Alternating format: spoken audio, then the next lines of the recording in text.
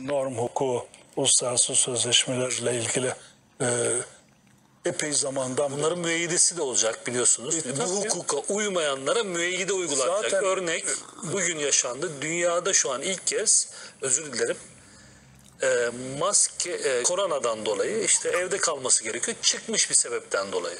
Kendisine normalde para cezası var idi biliyorsunuz. Şimdi ceza davası açıldı. Belki hapis yatacak.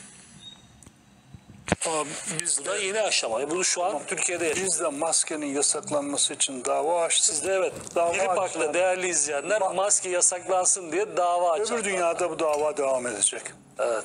Mahkeme, Artı 5G yasaklansın diye dava açtı. Dilipak açılan davaya müdahil oldu.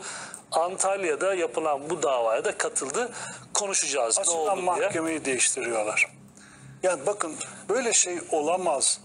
Mahkemede siz diyorsunuz ki 5G insan sağlığına zararlıdır. Bununla alakalı hiçbir şeye gerek yok. Dünya Sağlık Örgütü'nün geçmişte yayınladığı raporları için getirin. Tamam. BTK'da bunun muhatabı olarak 2018'e ait bununla alakalı raporları getiriyor. Hal- Halbuki 2011'e kadar Dünya Sağlık Örgütü'nün 5G'nin elektromanyetik e, akımların vesaire hepsinin zararlı olduğuna dair raporlar var.